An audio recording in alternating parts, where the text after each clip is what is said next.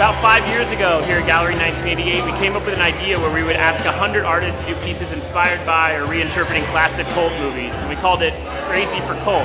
And uh, this is actually our fifth year, and it coincides with a book that was published by Titan, and that uh, chronicles the first four years of the show. And tonight we open the fifth annual. There's a line of like 30, 40 people outside, and we're, we're a good hour or two away from actually opening the door.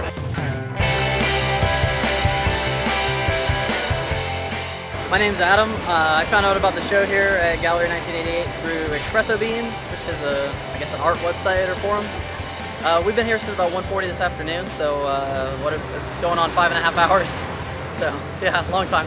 Oh yeah, it should be well worth the wait. So I'm definitely excited. It's my first show here, so it'll it'll be cool.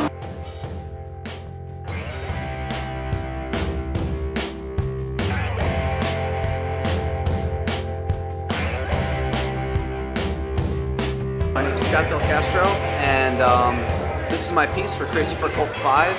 Um, it's The Karate Kid. I got involved with Crazy for Cult um, for Crazy for Cult 4. Uh, that was my first one. Then I did, got invited back to be Crazy for Cult 5, and that's kind of how I just started uh, working with, with Jensen and Katie, and uh, they're a lot of fun to work with. Hey, I'm Kate Flannery, and um, my friend Ellen Chinaman is an artist in the show, and so she invited me, and I um, am so excited. I'm so glad I came.